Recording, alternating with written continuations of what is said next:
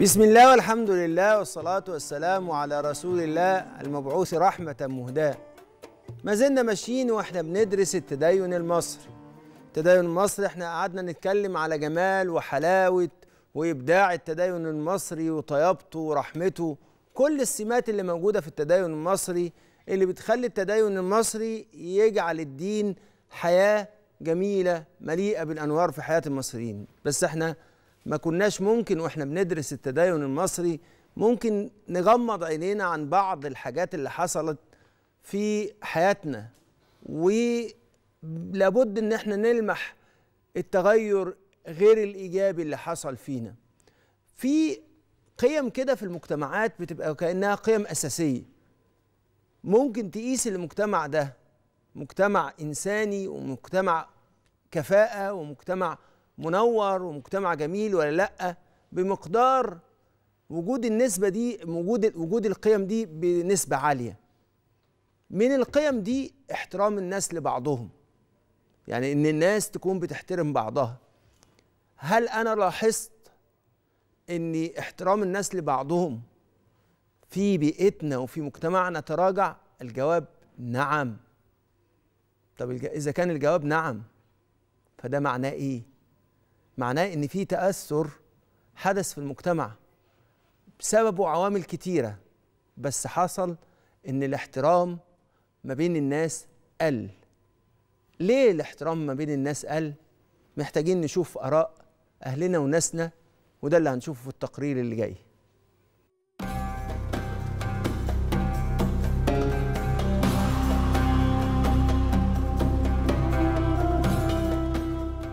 والله موضوع قلة الاحترام ده يرجع للتربية الأسرية وللبيئة لأن الإنسان يؤثر ويتأثر بالبيئة اللي حواليه. الرسول عليه الصلاة والسلام قال الابتسامة دي صدقة والكلمة الطيبة صدقة لازم نعلمها لأولادنا.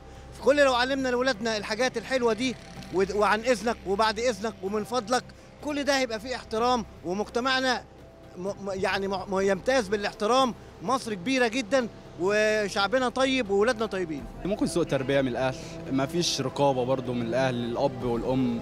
آه الأب ممكن مثلا ملهي في الشغل الأم كذلك.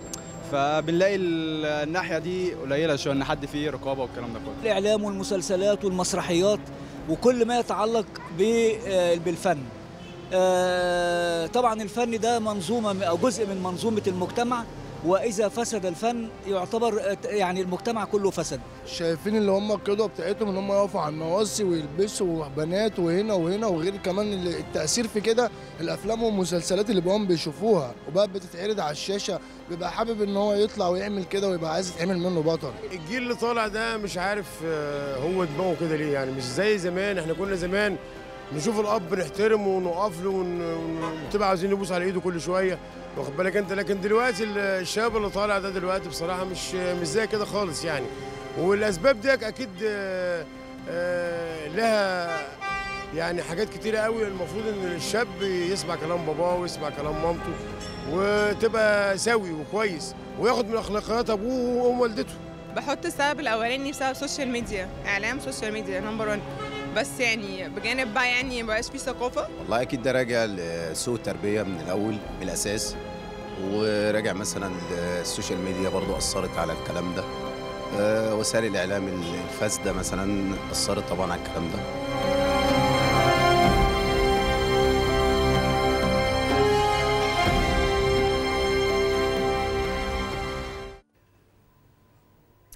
تقرير في غاية الأهمية بيرصد إيه أسباب آه تراجع الاحترام للناس من وجهة نظر أهلنا في الطريق والشارع اللي هو أكتر حاجة بتتعرض لقله الاحترام. إحنا عندنا الاحترام بس ما بيكونش ما بين الناس وبعضهم. الاحترام ممكن يكون على فكرة للمدرسة احترام للمسجد احترام للبيت احترام للشارع. الاحترام قيمة أوسع بكتير من احترام الناس لبعضها. التقرير قال إن الناس قالت إن التربية عامل أساسي وسبب أساسي في قلة الاحترام الناس ما بقوش يربوا زي زمان. التعليم وكمان الناس قالت الإعلام والسوشيال ميديا وقالوا كمان القدوة ما بقاش في قدوة وكمان الناس مع عدم وجود القدوة كل واحد فيهم عايز مساوئ الأخلاق وعدم الاحترام يبقى بطل. وكمان قالوا إن في اختلاف في الأجيال. الأسباب دي كلها بتقول لنا إن احترام الناس الناس موجوعين منه. عارفين ليه؟ لأن احترام الناس لبعضهم لبنة من أهم لبنات الحياة. لما بنفقدها ألو... الوجع بيزيد والناس ألمها بتزيد وبيحس الإنسان إن هو وكأنه إيه اللي بيحصل؟ إيه الهزة اللي حاصلة؟ ده أنا مش قادر أتحرك مش قادر أعيش. فاحترام الآخر من أهم لبنات اللي بتحسسنا إن المجتمع له حرمة. في حاجة اسمها حرمة المجتمع قدسية المجتمع. وعشان كده الناس لابد إن هي تحترم بعضها لأن ده اللي بيعمل رحم ما بين الناس. وعلى فكرة الرحم ده ما بين الناس إن الناس كلها تحس إن هي جاية من نفس الرحم اللي هو المجتمع. ده ملوش دعوة لا بمكانة الناس ولا بفئاتهم ولا بطبقاتهم ولا بمساكنهم. الاحترام احترام عام. أنا فاكر إن لغاية دلوقتي كان الناس أي حد بيساعدنا أي حد بيكون في مرتبة مع- آه، معاون الخدمة فاسمه عم فلان. حتى أنا وكبير بقول له يا عم فلان. ليه؟ لأن احترام الناس ده قيمة مطلقة. فإحنا بنحترم الناس دول علشان هنا كل الناس بنحترمهم. بحترم ابني بحترم زوجتي بحترم أولادي بحترم كل الناس اللي معانا. بحترم الحارس بتاع البيت بحترم كل الناس عشان كلنا خلق الله. مفيش حد ليه ميزة على التاني. لا فضل لأعربي على أعجمي إلا بالتقوى ولا لأبيض على أسود إلا بالتقوى. الاحترام واجب على الكل. وزي ما أنا أقول كده إن احترام الآخر هو فرض عيني على الجميع. كله لازم يحترم كله. وجزء من احترام الناس إننا نحترم احتياجاتهم بإننا نفهمها. ونراعيها وإننا نسعى بكل جهد إن إحنا ما نحملش ناس فوق ما نطيق فوق ما يطيقوا. إحنا دلوقتي وأنا بكلمكم والأزمة الاقتصادية اللي إحنا فيها دي لازم يظهر فيها احترام الناس. ما نعرضش حد لمهانة. اللي نقدر نساعده لازم نساعده. لأن إحنا لما نساعد الناس ده جزء من معنى الاحترام. فالحالة الاقتصادية توجب علينا إن إحنا نحترم أوجاع الناس واحتياجاتهم ولازم نحترم كمان أموال الناس. كفايانا مستريحين كفايانا مستريحين. المستريح ده نشأ على إن في حد رباه على إنه ما يحترمش الناس ما يحترمش تعبهم وشقاهم. اللي جابوا الفلوس دي بالكد والتعب والعرق والمعاناة إزاي منعوا من قوتهم؟ ويجي الواحد ده أنا مش عارف الش- الشخص اللي اتاخدت فلوسه ده هيتحمل ده إزاي. بس على فكرة مم، ده ما يعنيش إن أنا بقول إن هو مش غلطان إن هو ما خدش كل إجراءاته الاحترازية لكن أنا بقول في نفس الوقت الشخص ده في واحد ما احترمش تعبه ومعاناته. كمان لازم نحترم أمن الناس. وبلاش بقى ال- التهاون وعدم احترام أعراض الناس. كفايانا سخرية على بعض. أنا ما أعرفش إيه حكاية ان إحنا نقلش على بعض ده؟ واحد يبقى هو القلش ده مش- مش ممكن يتصنف على انه تنمر؟ ما كفاية نتنمر على بعض كده ونأذي بعض ويفضل واحد موجوع في قلبه لأن حد ضحك عليه. لازم الناس تحترم ردود فعل بعض ومحدش يتلاعب بمخاوف الناس ويبقى خضه والناس كلها تضحك. خلي بالك إن حضرة النبي صلى الله عليه وسلم قال وتبسمك في وجه أخيك صدقه صدقة احترام ليه قلبه محترم فتبسم في وجهه عشان تحسسه إن هو محترم. وعشان كده بقول لك حاجة مهمة قوي في فرق كبير بين إنك أنت تضحك تضحك في وجه أخيك وإنك تضحك على أخيك. لما تضحك في وجه أخيك أنت بتحترمه لكن لما تضحك على أخيك أنت بتهينه. مفيش حد بيحترم حد ويخليه لعبة وأضحوكة. ولذلك النبي صلى الله عليه وسلم جعل من لم يحترم الناس ويقدرهم بعيد عن منظومة أخلاق الإسلام. فبيقول حضره النبي صلى الله عليه وسلم ليس منا من لم يوقر كبيرنا ويرحم صغيرنا ويأمر بالمعروف وينهى عن المنكر. كأني مسألة احترام الكبير ورحمة الصغير هي عين الأمر بالمعروف والنهي عن المنكر. ننهى عن المنكر اللي هو ابتذال الناس وم- ونأمر بالمعروف اللي هو احترام الناس. احترام إن الصغير محتاج لرحمة واحت- واحترام إن الكبير محتاج لتوقير فالإسلام أمرنا إن إحنا نحسن للناس في كل الأحوال. ولذلك الله سبحانه وتعالى جعل هناك أمرا مطلقا وقولوا للناس حسنا. والنبي صلى الله عليه وسلم أمرنا بإكرام الناس وأن ننزل الناس منازلهم. فيأتي الحديث في مقدمة صحيح مسلم عن السيدة عائشة أمرنا رسول الله صلى الله عليه وسلم أن ننزل الناس منازلهم. يبقى إيه اللي حاصل؟ حضرة النبي صلى الله عليه وسلم أمرنا إذا أتاكم كريم كريم قوم فأكرموه. يبقى ونشوف بقى حضرة النبي وهو بيقدم لنا الاحترام في أجل صوره. حضرة النبي صلى الله عليه وسلم بأبي وهو أمي وهو بأبي وهو أمي وما فيش حد كان بيحترم الآخرين زي حضرة النبي. شوف توقيره في أهل السير بيقولوا إيه؟ بيقولوا إن حضرة النبي صلى الله عليه وسلم لما فتح مكة دخل رسول الله صلى الله عليه وسلم مكة وإيه اللي حاصل؟ ودخل المسجد. فسيدنا أبو بكر فرح إن حضرة النبي جه ودخل مكة وحصل الفتح المبين. فأتى بأبيه وكان أبوه رجل كبير. فأتى بأبيه يقوده لحضرة النبي صلى الله عليه وسلم. فدخل على حضرة النبي وحضره النبي إيه؟ تهلل ووقف له كده. بيقول له فقال لسيدنا أبو بكر هل تركت الشيخ في بيته؟ حتى أكون أنا الذي آتيه. يعني بيقول له أنت جبت والدك ليه؟ كنت أنا اللي أروح له. حضرة النبي. شوف الجمال. فقال له سيدنا أبو بكر يا رسول الله هو أحق أن يمشي إليك وأن لا أن تمشي إليه أنت. فحضرة النبي راح عامل إيه؟ شوف الأدب شوف الاحترام. أجلسه بين يديه. لسه ما أسلمش لغاية دلوقتي. أجلسه بين يديه. ومسح رسول الله صلى الله عليه وسلم على صدره. ثم قال أسلم فأسلم. حضرة النبي صلى الله عليه وسلم بيعلمنا إن إحنا نحترم الكل ونخلي التوقير توقير مطلق والاحترام احترام مطلق للكل. خلي بالكم الاحترام ده هو اللي بيحسس ان انسان إن المكان ده مكانه. عارف إن ناس كتيرة؟ إيه اللي حاصل؟ بتحسس إن المكان مكانها لأن هي مش محترمة فيه. ولذلك بيبقى من إجلال الله سبحانه وتعالى إن إحنا نحترم الناس. إن من إجلال الله شوف من إجلال الله أي تبجيله وتعظيمه إكرام ذي الشيبة المسلم إن أنت تكرم الناس. ولذلك الإسلام ما سبناش نتخبط علمنا إزاي نحترم الناس وإزاي يتحقق الاحترام في المجتمع والتقدير. ففي حديث سيدنا أبو هريرة بيقول حضرة النبي صلى الله عليه وآله وسلم إيه اللي حاصل؟ يسلم الصغير. على الكبير والمار على القاعد والقليل على الكثير. كأنه عايز يعمل إيه؟ تعالوا نرجع للحديث ده تاني. بيقول لك يسلم الصغير على الكبير. وكأنه بيقول له إيه؟ مش مش التسليم ده عقد عقد أمان؟ أيها الكبير أدخلني في أمانك. فيسلم الصغير على الكبير عشان يدخل في أمان الكبير. يبقى خلاص هو في رعايته. والمار على القاعد. الشخص اللي هو مار لأن هو ممكن يتعرض للإيه؟ لمشكلات يسلم على على القاعد. عشان إيه؟ عشان القاعد ده مطمئن فيأمنه فيمشي كده في أمانه. ويسلم القليل على الكثير. وأنتوا طبعا واضح جدا إن القليل يدخل في الكثير فيحس فيحس بالدفء. احترام الآخر بيحسسنا بالدفء.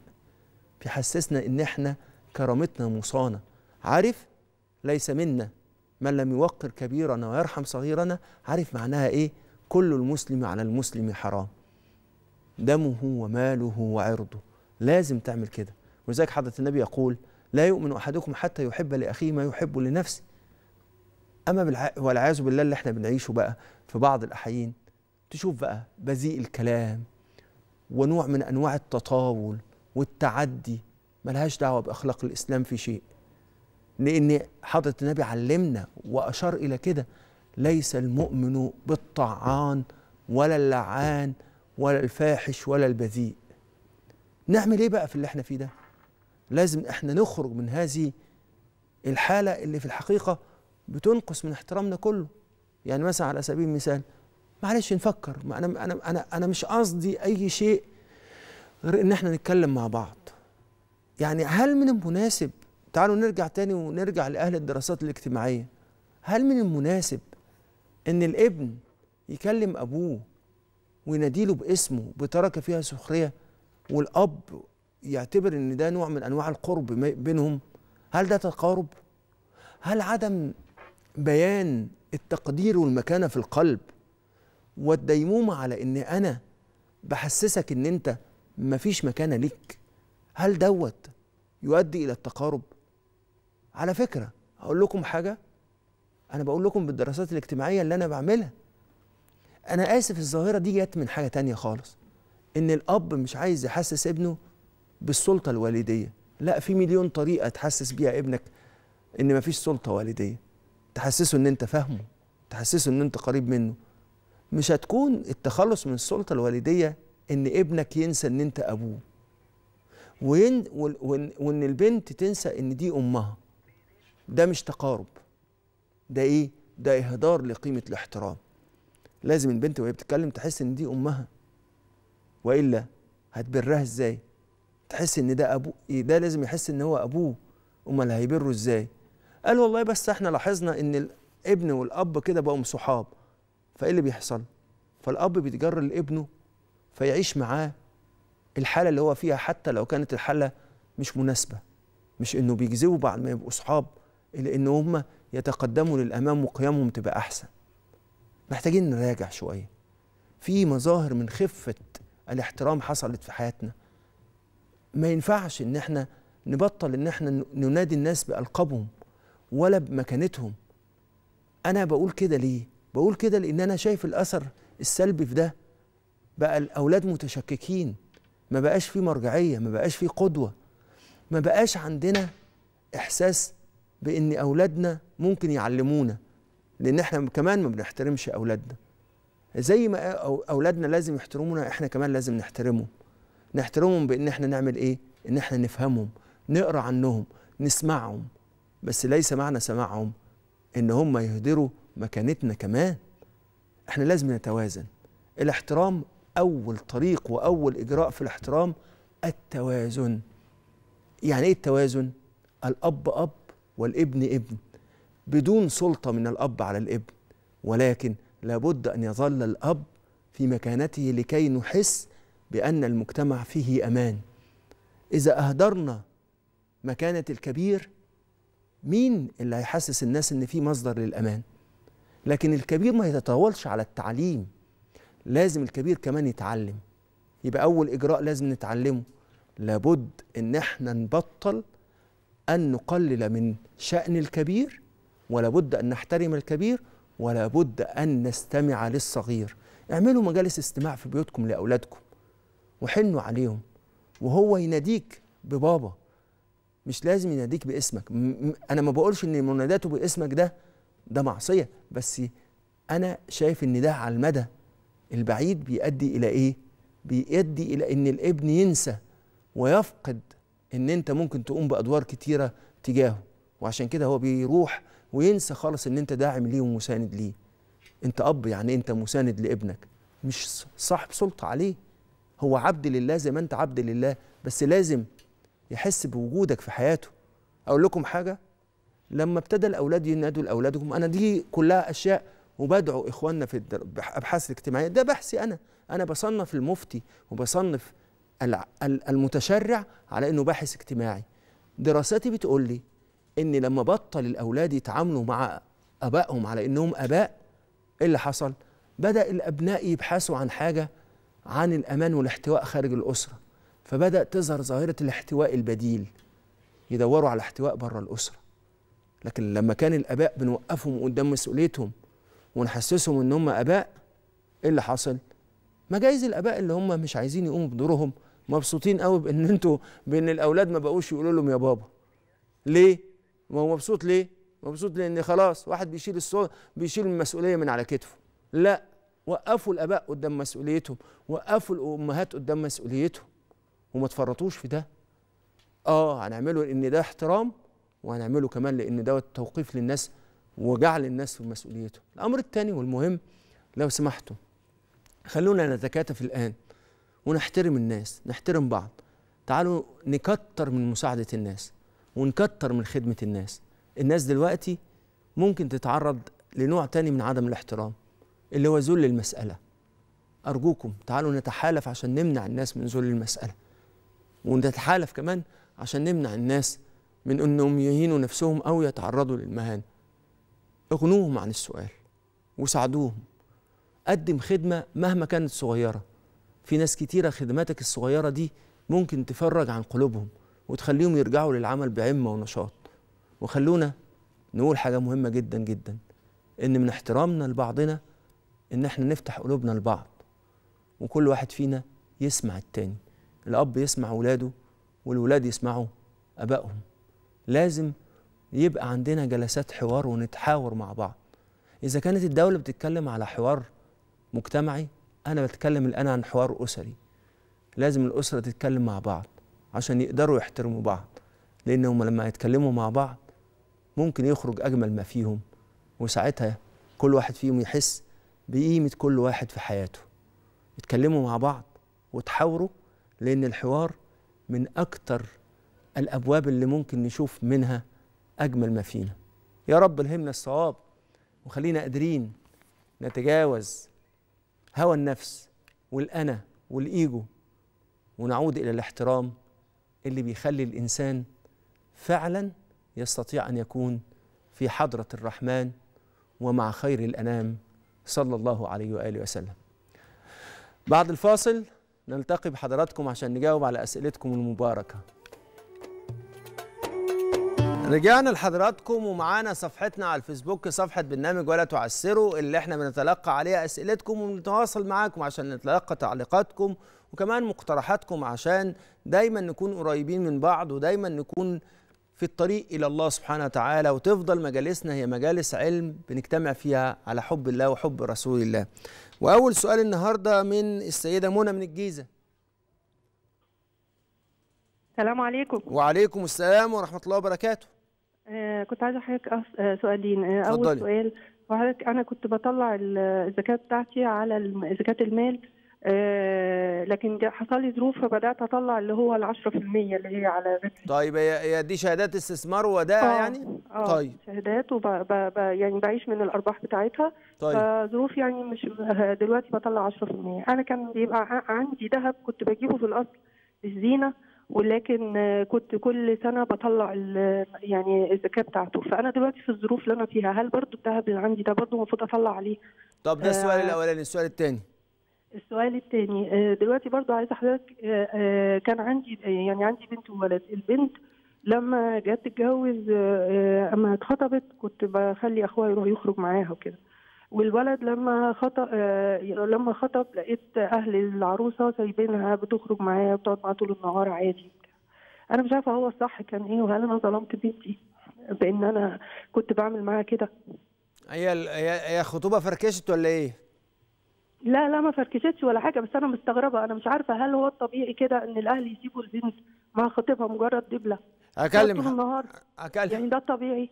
هو انت انت راضية على خطبة البنت ولا لا؟ أنا راضية بس قلقانة من كده يعني قلقانة طيب. من ده أول لا أج- مش مش معترضة بس أنا عملت مع بنتي مش كده ما عملتش بنتي كده فأنا مش عارفة هو الصح كان إيه كان اعمل مع بنتي كده على حضرتك يا أستاذ هجاوب على حضرتك يا أستاذ منى أول حاجة إن إن الذكاء ده التطبيق الصحيح يعني اللي أنت عملتيه ده التطبيق الصحيح لمسألة فتوى ال 10% من الريع إن الإنسان ما دام عنده شيء تاني يصرف منه غير الريع دوت يطلع آه، يطلع 2.5% على المبلغ كله كل سنة. لكن لو كان هو بيصرف من الريع ده وما عندوش مصدر غير الريع دوت يصرف منه يبقى يطلع 10% من الريع كل ما يجي له. يعني لو جاله كل شهر هنطلع 10% من من- منه.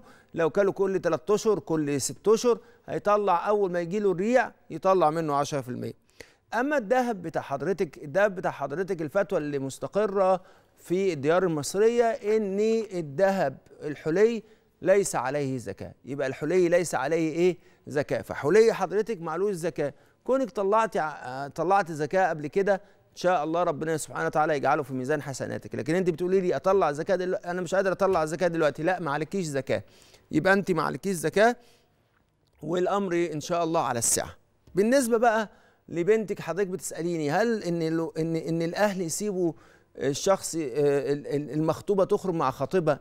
إحنا عندنا كل الأحكام التي تتعلق بالخطبة بتتعلق بال- بالمعروف. إيه المعروف؟ يعني إيه المعروف؟ المعروف يعني عدم تجاوز عدم تجاوز مسألة ماذا؟ مسألة الأعراف وعدم تجاوز المسائل التي تتعلق بالعلاقة ما بين الاثنين اللي لسه ما اتجوزوش. لأن الخطيب دوت هو في الحقيقة لسه ما بقاش حتى زوج ما فيش أي أحكام من أحكام الزوجية ليها علاقة بيه.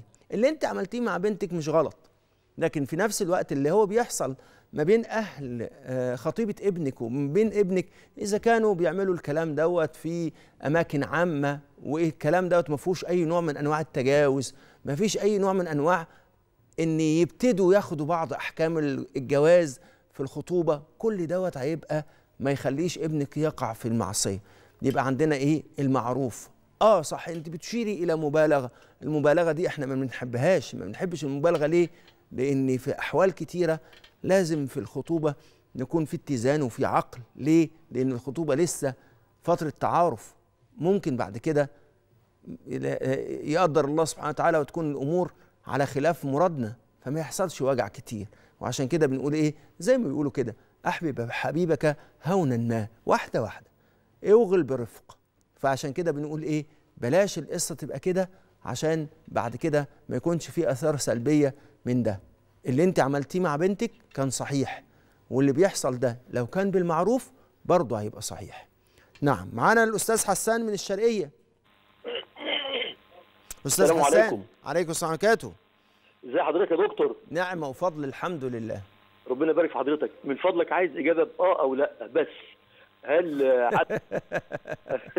معلش أنا آسف. هل عدم خدمة بنتي لحماتها ذنب قدام اسم هل بنتي أخطأت قدام ربنا؟ بس آه أو لأ. بص أقول لك حاجة. آه لأ لأ ما هي ما اخطيتش بس ده في بس- ال- بس- اسمع اس اسم اسمع يا حاج حسان. اوعى تعمل معايا كده. اسمع. بص يا حاج حسان. بنتك بنتك واجب عليها تخدم حماتها؟ واجب عليها؟ لأ. ولكن هل من حسن العشرة إن الست تعرف إن أقرب طريق لقلب جوز جوزها إيه؟ أهله. مش معدته. ده أقرب طريق لقلب جوزك معدته. لا ده أقرب طريق لتصلب شرايين جوزك. لكن أقرب طريق لقلب جوزك أهله. فإحسانها لأمه مش هيرجع حلاوته غير في قلبه هو. لكن مسألة بقى إن الناس يكون جزء من حياتهم إحنا برضو عندنا في أهلنا في بعض المناطق بتبقى المسألة صعبة قوي.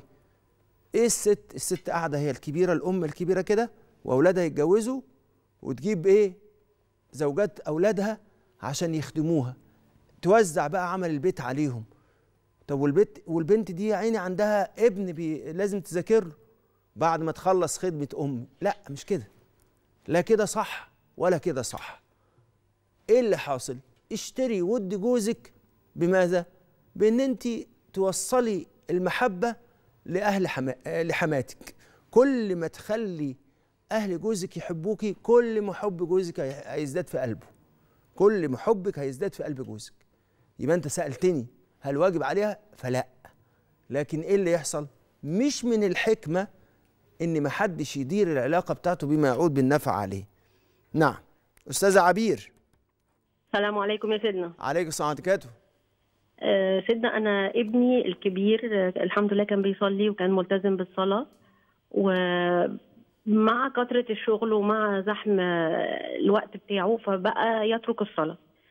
وعلى مدى ثلاث سنين دلوقتي بقى الموضوع بيزداد أكتر. آه، أنا بدعي طول الوقت وواثقة من ربنا إن شاء الله الرحمن إن هو هيستجيب لدعائي ده في يوم. نعم. بس هل أنا عليا حاجة دلوقتي إن أنا آه، أعملها تجاهه علشان خاطر تنبيهه للصلاة ولا خلاص أنا ماليش دعوة؟ أنا أظن إن إحنا محتاجين نعمل ثلاث حاجات فيما آه. يخص حضرتك. أول حاجة إن إحنا في الحقيقة لازم نقرب منه شوية لأن واضح إن هو مسألة الانشغال في العمل دي بقت مسألة فيها جزء كمان بيهرب فيه من بعض الحاجات فلازم إحنا نقرب منه عشان هو في الحقيقة يحس إن الناس حواليه. الأمر فلازم نقرب منه. أنا بقول كده ليه؟ إن أنا ما شفتش حد بيتحول فأول ما بيتحول بيسيب الصلاة غير لما بيحس إن هو عايز بي عنده حالة من النهم إن هو يكتر الشغل يكتر الفلوس يكتر حاجة تملى الخواء اللي عنده. فإحنا لازم نقرب منه. ده أول حاجة. الحاجة التانية اللي إحنا محتاجينها إن إحنا نذكره. ما نملش من تذكيره بس نذكره بطريقة لطيفة. إيه اللي حاصل؟ حبيبي أنت حبيبي آه تيجي نصلي العصر مع بعض؟ إيه حبيبي أنت عامل منبه للصلاة ولا لأ؟ ونفضل كده. وكمان الأم ممكن تعمل حاجة لطيفة قوي. تقول له أنت فاكر إن أنت هتكبر عليا؟ أنا بستمتع إن أنا أمارس بقية حياتي معاك وأفضل في حياتي الإنسان اللي بيذكرك بعلاقتك بربنا. مش انت طلعت من رحمي بأمر الله؟ أنا مستمرة إن يبقى العلاقة بين بيني وبينك علاقة مرتبطة بالله. وعشان كده عشان كده مش هسيبك وايه وأنا ب ب ب وأنا دايما بذكرك بالله. آخر حاجة ندعي له في كل سجود من سجود صلاتي. إن ربنا يشرح صدره وإن ربنا يذهب عنه كل هم ويخليه مرتاح البال عشان يقدر يقبل على المولى المتعال بمحبة وبشوق. إن شاء الله ربنا سبحانه وتعالى يكتب له ده. فاصل ونرجع نكمل أسئلتكم المباركة. معانا الأستاذة أسماء من الجيزة. أيوه السلام عليكم. اتفضلي يا أستاذة أسماء. أه بقول لحضرتك يا شيخنا أنا دلوقتي متجوزة من 25 سنة. نعم. أخدت أخدت جوزي ضحك على أبويا أنا معايا ومبسوط وبتاع وأنا بنته الوحيدة. طيب. ضحك علينا وفي أول ليلة جوازي كان بياخد شبكتي مني ويقول لي ده أنا واخدها سلف من واحد صاحب ذهب علشان خاطر يعني أقول لأبوكي واخدك وعشت حياتي كلها معاه بلوع وبكذب وبنصب و... يعني تعبت تعبت. طلبت من أبويا كتير إن أنا أتطلق وأنفصل. أنا مش مستقرة أنا بتاع أبويا رفض. وعشت مع الراجل دوت 25 سنة وجبت منه ثلاث ولاد. وبعد 25 سنة يا شيخنا هو سافر آه تقريبا 15 سنة من عمر ولادي ما كانوا لسه أطفال. وسابني أربي وأكبر وكل شهر يقول لي معيش ده أنا بتسلف وبعمل لكم. ده أنا. عايشنا بالمن. كنت بخاف آكل لا ألاقي الشهر الجاي معيش فلوس. وبعد 25 سنة فوجئت إن الراجل دوت نازل بمراته ومتجوز وتاسف عليا ومطلقني وحياته زي الفل ومعاه آلاف مؤلفة بيصرف فيها. وعيالي لو ما كانوش يقدموا فروض الولاء والطاعة وكل مليم ناكله نتحاسب عليه بالورقة والقلم ويتصور بناكل إيه وبنشرب إيه وبنصرف إيه ما يبعتش ويذل فينا لحد اللحظة دي. دلوقتي أنا من حقي إن أنا أرتبط وأتجوز. لو اتجوزت عيالي مش هتصرف عليهم. ليه؟ يعني ما هو كده عيال- عيالك- هو كده عيالك- انت عيالك خدامه للولاد وأنا عيالك بدفع است- مقابل أكلك. استني بس يا أستاذة أسماء. أنت عيالك كبار. ملوش ملوش دعوة لأ. مش كبار عيالك صغار كبار دلوقتي مش في عي- الجامعة مش عيالك مش عندك واحد عنده 24 سنة مثلا أو 23 سنة وال- والتانيين يعني المفروض أقل واحد فيهم دلوقتي ممكن يكون في في الاعداديه أو الثانوية. بالظبط بالظبط. طيب هو كان في أولى ثانوي.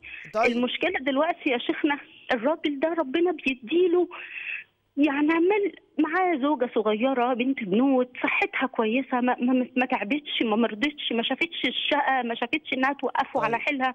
الراجل ده ربنا عمال يديله قوي. طب فين وأنا؟ تعبت. أش- أشفي ناري. بدعي ربنا ليل ونهار. عايزة أطفي ناري أشوف في يوم.